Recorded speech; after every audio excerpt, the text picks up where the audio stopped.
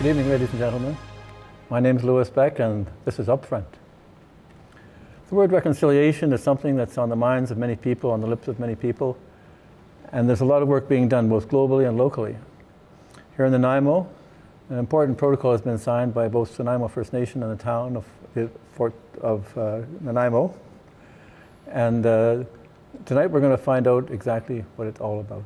Tonight I have with me Chief Michael Wyse of Snuneymuxw First Nation and Mayor Leonard Krog of the City of Nanaimo. Gentlemen, welcome. Thank you. Thank you very much for joining me. So Chief Wyse, could you uh, give me a thumbnail sketch of what brought Snuneymuxw First Nation and the City of Nanaimo to the table to develop this protocol? How did it all unfold?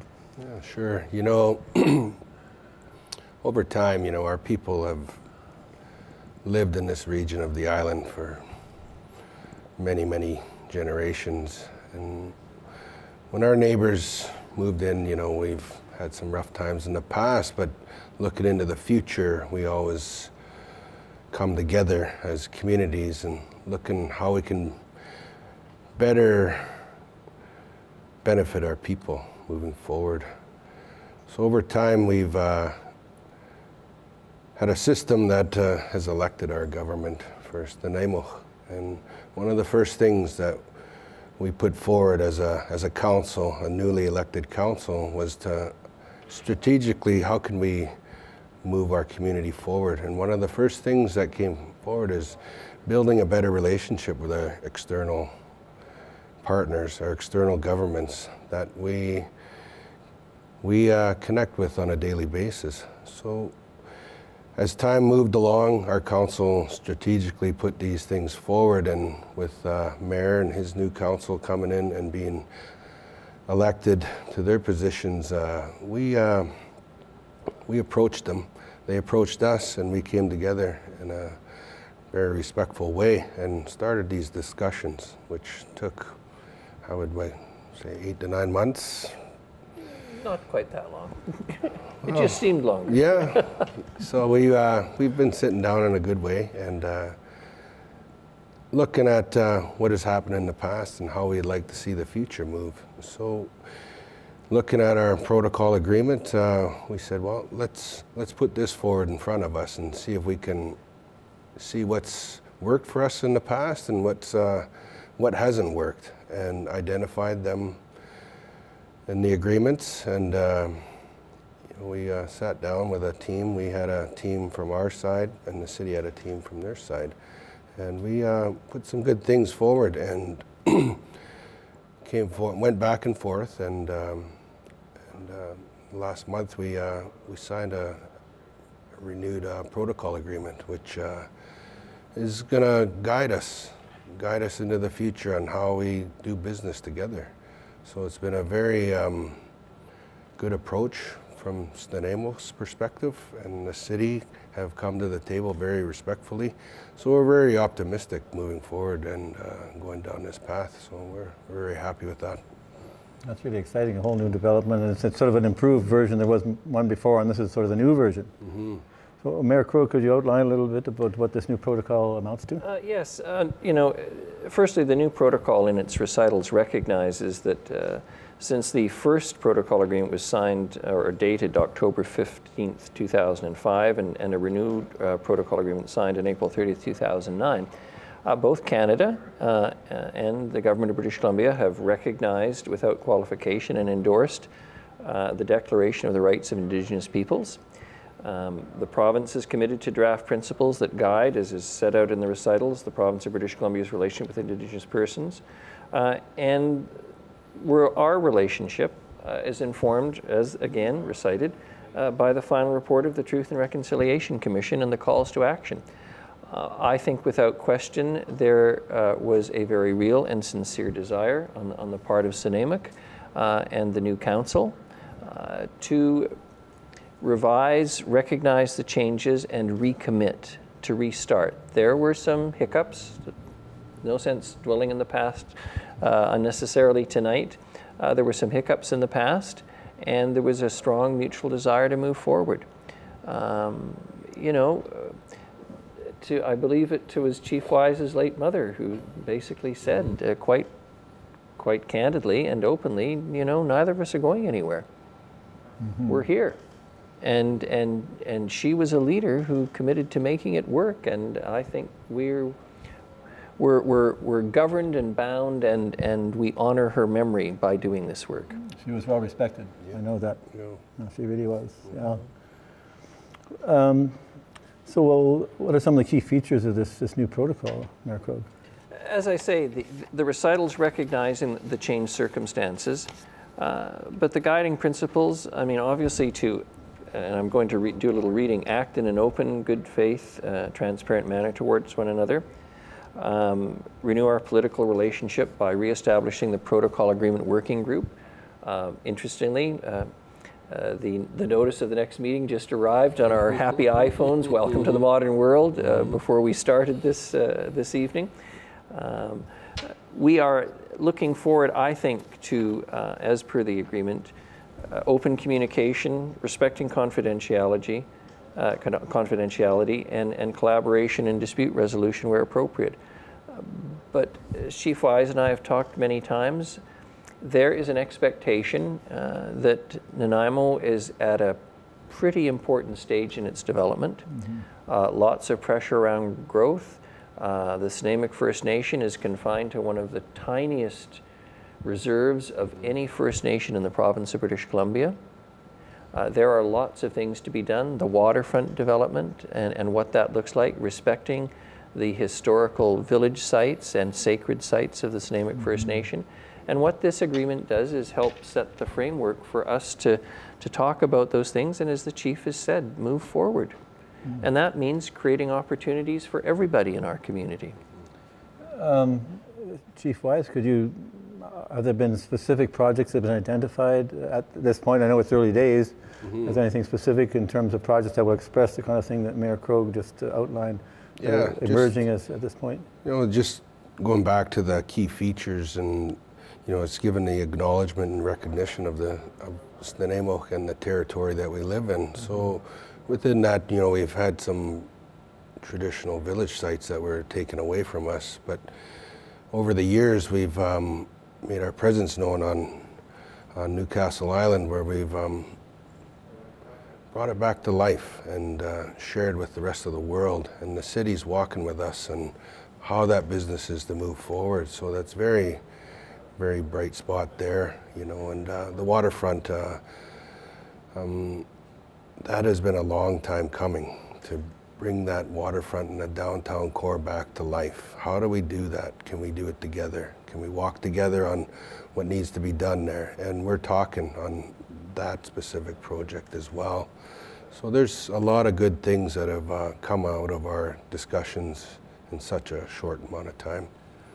A lot of sort of possibilities and that have to be developed and, and take shape. I guess through the consultation process, they'll identify the details and eventually make them happen. And, and, and the wonderful thing is, in, in addition to the, the partnership that's developing, and I'll call it a partnership, uh, is, is the participation of the, the Port of Nanaimo in all of this.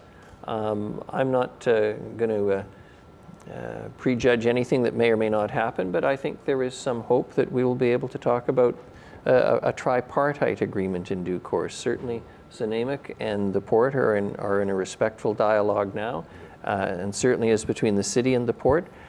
Uh, and, and frankly, in the broader context of the community, the other elected body, which is the, the school district, the Board of Trust, Board of Education.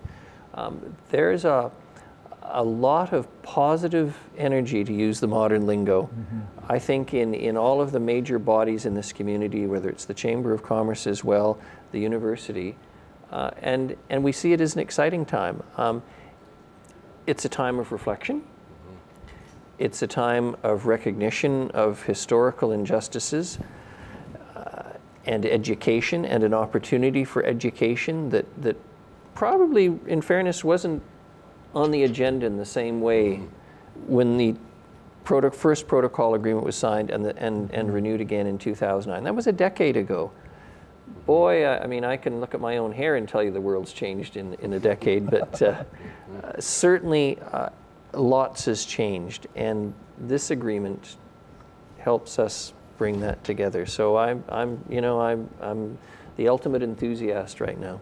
Oh yeah, there's a lot of good work that's being done. Uh, uh, President uh, uh, Nelson, Ralph Nelson of uh, Vancouver Island University, did some really groundbreaking work. You know, fostering good relations. I know with your people, Yes, uh, uh, Chief Wyse.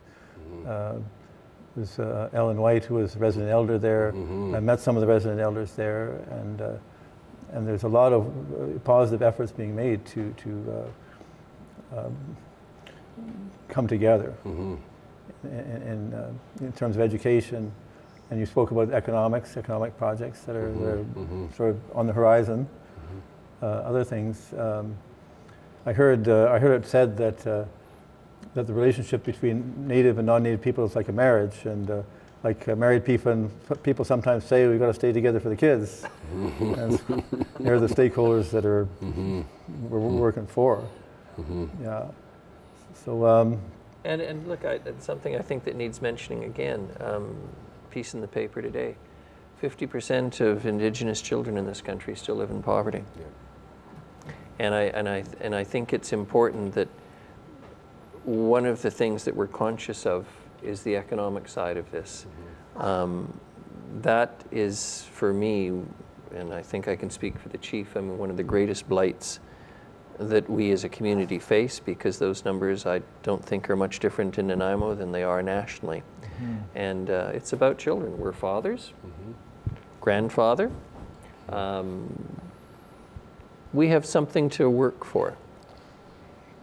Yes, that's exactly right. The young people. Uh, uh, I'd like to ask about the youth, uh, Chief Wyse. I, Mhm. uh, the youth, they must have something to say about this. They must have some thoughts. What, what, what are you aware of in, in this line? Tell me. Well, it's, they're our future. They're our future. They're so important to our people, and um, our old people always say, you know, we gotta, we gotta prepare the table for them. We gotta make sure they're going to be looked after. But along the way, if they hit some bumps in the road, we gotta guide them. So our our younger people are are so important to us, and you know, not only our people, but all the young people that are living in the world today, you know, that have struggles. We need to look after them because that's our future. And we need to teach them right, you know, what's, Well, setting a good example, just the two of you coming together, working to overcome, you know, our prejudices, our, our, our misunderstandings, and then find a common ground. Mm-hmm. You know, for And, that and reason. part of that reconciliation process, I, I attended a session a few weeks ago sponsored through Fortis. They do it for their employees. They make it open to politicians and, and other community leaders. And, you know, there's a, a horrendous number of Indigenous children who have been apprehended uh, in our, in our uh, uh, system, uh, who have been taken from their, for their families. And uh, that in and of itself reflects an attitude about it's the clash of cultures. Our view is, you know, we'll call it the dominant society expects parents to raise their children. If they're not doing a good job, the state takes them away. Um, the Aboriginal approach is a communal approach, I think it's fair to say. If someone's not doing their job in parenting, there's an aunt, there's an uncle, there's a cousin, there is a community. And, and the system that exists and has existed for a very long time has not been responsive to that. And that's just one aspect for me of reconciliation and, and seeing that changing attitude. And governments need to catch up. Um, cultures raise their children differently. And um, by taking children away from their indigenous communities, uh, we have not made this province a better place or made their lives better. I think the question then becomes how can we set the stage for this kind of cross cultural fertilization where we can learn from each other? What will it take to, to make that happen? well, maybe just stepping back again to what uh, Mayor has touched on in regards to our children and um, Child and Family Services. Our local agency is Kw'umut Lelum Child and Family Services, which represent nine nations within the Mid Island region. And that's the approach we've taken. You know, if a family's having a tough time, we look at the cultural side of how can we help this young person. If there's an aunt, if there's an uncle that is willing to come forward and look after this person, young person, then that's where we're going. And um, you know, with the hard work of the executive and the board and the administration of Kw'umut you know, we've been able to move in that direction and take on that role for our kids. So, you know, making sure they're going down that right path. And uh, so they're going to be part of our society into the future. Yeah. Yeah, it's become plain to me that, like the sort of thing you were talking about, like us in the non-native world could do well to incorporate that into our ways too. And I suppose the kind of conversation we're having now can help that happen. Mm-hmm. Now, I've speak, spoken to some of the people with your child development center, your child care center, mm-hmm. and uh, uh, uh, Tammy Miles and uh, her daughter. We spoke here in this very studio about that very sort of thing, the, the, the, the unique approach that, that, that, you spoke of, uh, mm-hmm. Chief Wyse. Mm-hmm. Is something uh, we could learn from. That's what I mm-hmm. think. And, and, around children, I mean, I think the school board is very progressive on that locally, um, uh, and which, you know, we'll get on to the topic of what reconciliation looks like, but um, around encouraging education uh, of Indigenous history and Indigenous culture generally. Uh, you know, I say with some pride, I've got a daughter at VIU who's completing a degree in Indigenous Studies. Now, I got to tell you, 10 years ago, if you told me my daughter was going to go back to school to finish a degree in, in her mid 30s and said it was going to be in Indigenous Studies, I said, to her, Really? But we're 10 years down the road, and I'm quite thrilled and proud of her. Mm-hmm. Yeah, it shows and she's helping educate the whole family as she learns more and understands more. Mm-hmm. That's what reconciliation starts to look like after a while. It's I, about learning. And from what I'm seeing, it's at multi-level. You know, it's at the government level, down say like this, the municipal, uh, and, even at the grassroots level. There's a lot of individual people that are doing that too. There's uh, you know uh, individuals they're having conversations and, and uh, initiatives.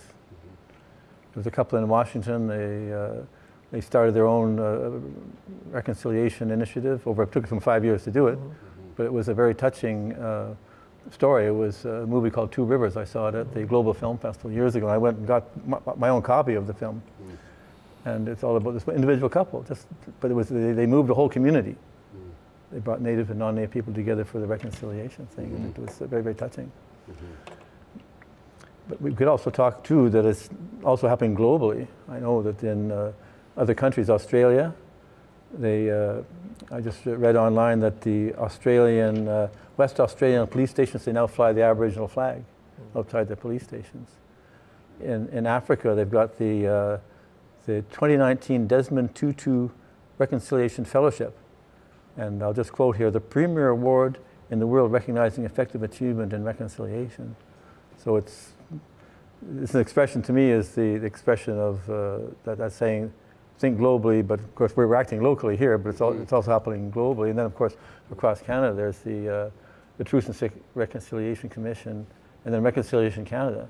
Mm-hmm. Uh, can you talk a little bit about that? I think that's a na- written mm. native oriented or driven.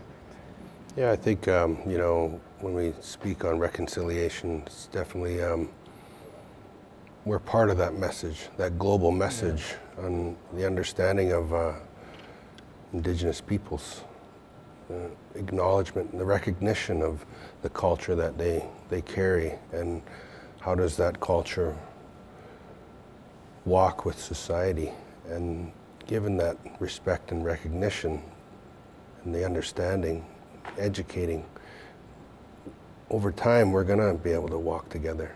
They're going to understand where we're coming from when we we uh, reference certain things that we have walked with all our existence as Aboriginal peoples. So I think key is the education part that uh, people come with an open mind and an open heart to understand who we are, who we are as a people, and we're no different than you or I, but we carry our culture, our ways that have been passed down to us over generations. But the understanding that we have this, you have that part of your life, and we can walk together. Well, there's a saying which it took me a while to learn it, but I think I'm saying it right. Not, not so much swallowing. Not so much swallowing. Yeah. One mind, one heart. One mind, one heart. You come in with an open mind and an open heart, and special things are going to happen. Yeah. I think that's kind of what's driving the work that you and, and Mayor Krog have uh, started. Well, you, your, your people too, not just uh, yourselves. Your, but Our councils. under your leadership, shall we say? We, we have the honor and privilege of uh, having the title of being mayor in chief, but uh, we're also very conscious that we're one vote at our tables That's too. right. yeah. Well, can you share your feelings? How do you feel now about having come this far? What, what are your feelings about all this? Well, I, look, uh, I, I think it's what we want, and generally speaking, um, uh, we're like babies. When we get what we want, we're happy. no, I, I, I look. I think, the, joking aside, there, there's a, a serious sense of satisfaction, uh, anticipation, and also a bit a bit of nervousness, uh, because I, I think Chief Wyse and I are both of a similar mind on this. Um, I won't say we're concrete people, but we want to see some things that are solid that we can go back to our respective communities and say, this is what we've been able to achieve. This is something tangible. It's, it's, the talk is important. The, the, the relationship is crucial to making, uh, to implementing the talk. But we want to see some projects, some employment, some benefits that we can say, look, as, as councils, over this period of time, this is what's happened.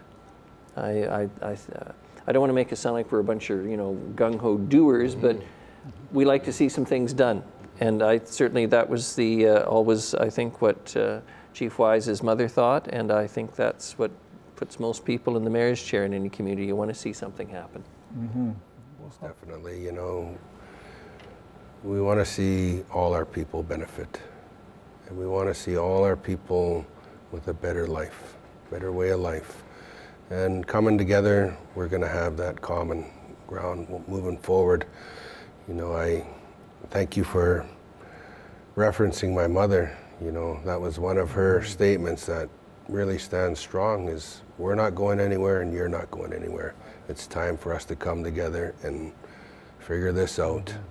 And, uh, you know, we, we're here today and very optimistic looking into the future, you know, the, the recognition, the respect that we're going to carry on both sides moving forward and how we're going to do business is very key for us. And uh, so we're, we're very optimistic moving forward. Uh, Ellen White uh, was a highly respected elder, and she did a lot of groundbreaking work too. Very much. She, uh, she did a lot of work bringing people together. She was a resident elder at VIU, I understand, yeah. and uh, she was responsible for a lot of progress hmm in, uh, in, uh, on the reserve, and also working with, you know, the, the two peoples and, and bringing them together. hmm There's a lot of outstanding people Very, very outstanding. You blaze, standing on their shoulders now. bla- blaze the trail for our people across this country. Ellen White, you know, she was my grandfather's first cousin, so they're like brother and sister. So we, Mhm. you know, just um, hearing her life lessons growing up, you know, are there for life You and influenced a uh, lot of people. touched a lot of people. So Yeah. she's a very special person in our life. So, what are we seeing down the future? What do you see down the road? What, what, what, what, what do you see? You know, um, hmm, what do you see? Um, look, I see a bigger community. There is no question that this city and this region is going to grow dramatically, whether people want it or not, um, because of the climate, uh, because of the natural beauty, uh, because of its proximity to Vancouver and Victoria. Uh, that's inevitable. Um, what does the future look like? I hope it looks like a community where people of all races, I don't want to sound too, you know, Pollyannish here, but people of all races, but particularly Indigenous people, um, move everywhere in our community with the same level of comfort that they move in their own homes. I mean, uh, Indigenous peoples on their land, their traditional territories, uh, for a long time, I think it's fair to say, have, have moved in the community in many occasions knowing that they were being looked down upon or disregarded or ignored, uh, as do from all around the world from time to time throughout this, this country's history. And for me, if the future looks like you walking into a store and, and never expecting to be treated any differently than the customer before mm-hmm. you or the customer after you, mm-hmm. or, or treated any differently when you apply for a job because of your heritage. Mm-hmm. That's, I'm, I'm, I'm very hopeful. Is it going to happen in my lifetime or Chief Wyse's lifetime? I don't know, but I, I think that the fact that we're here today talking about it and that there are so many people of goodwill in the community, mm-hmm. Yeah. yeah, I'm, I'm quite optimistic. I think that's what the future looks like. Mm-hmm. And but uh, to come back to the practical, it's where we won't be talking about the statistics I mentioned earlier around poverty. Mm-hmm. A new society where the sort of stuff that happened in the past won't happen again, something like that. Yeah. You know, there there has. I mean, let's let's use some some blunt language, if I may. There has been a stereotype promoted and, and referred to over time of you know the the lazy Indian uh, who didn't want to work, and boy, w- we could unpack that one over days, literally. But uh, for me, an important part of that future is ensuring that employment opportunities are there for Indigenous peoples. And because that's what we're talking about now. We're not talking about the larger community. In terms of the Indigenous community, mm-hmm. the mm-hmm. Snuneymuxw, that the employment opportunities are there, that there mm-hmm. is the opportunity for meaningful work as should be the expectation of every Canadian. Oh my God. What, do, what are you seeing? What are you seeing, Chief Wyse? Yeah, you know, we're, we're optimistic, you know, and uh, sharing our story, getting the message out, educating the greater community, you know, we, that stigma that has uh, hampered our people for generations, you know, over time, you know, my grandfather was a, a longshoreman all his life, worked for a living. A lot of our people were working men, but there's this unfortunate stigma out there that they, they weren't those people. And we need to share our stories, share our messages that our people are working people and they want to walk in society with everybody else equal. And you know, we're very optimistic in our approach that we've taken with the city of Nanaimo. We're looking to the future in a good way. And uh, you know, we're very I guess the word's been said a few times now, optimistic. That's Yeah. great. I mean, Yeah. th- th- part, part of reconciliation for me, and a, a really important part, is around the education, understanding the history. Like, my pin tonight is the Bastion. Mm-hmm. All right, you can argue, and I love to wear it because I love to be provocative in some respects. It is the symbol of the community, kind of like Nanaimo Bar or the bathtub races. Mm-hmm, mm-hmm. And you could also say, on one level, it's the ultimate symbol of colonial oppression, right? Yes. uh-huh. built by a, a corporate interest to protect against uh, Snuneymuxw attacking it or anybody else, but also amongst the three, three skilled people who worked on and built the bastion were Iroquois. Wow. Yeah, wow, exactly. A little bit of history. I didn't know it until a few years ago Didn't know until now. but uh, I, I use it as an example. If anyone honestly thinks that this province was built by all the people who came here, other than the First Nations, then they are in total in total ignorance of the real history. The fact is that these Iroquois came all across the country. I don't know how to to work on and build the bastion in conjunction with others. Um, do you think the the fishing industry, the, all the canning, all of the many uh, the loggers, the fishers, all of those people didn't include Aboriginal people, but some historically believe this all happened just you know because of the white folks, and that's not the way it was. I want to thank you, gentlemen, for this. I wish we could talk a lot more. There's so much to, ground to cover here and so much to, to bring forward. Uh, I think we made a good start. Uh, I want to thank you both, Chief Wyse, Mayor Krog. Many thanks for joining us here tonight on Upfront. And uh, thank you, ladies and gentlemen, for joining us too. I hope this was uh, instruction, instructive and illuminating. I'm Lewis Beck, and this has been Upfront.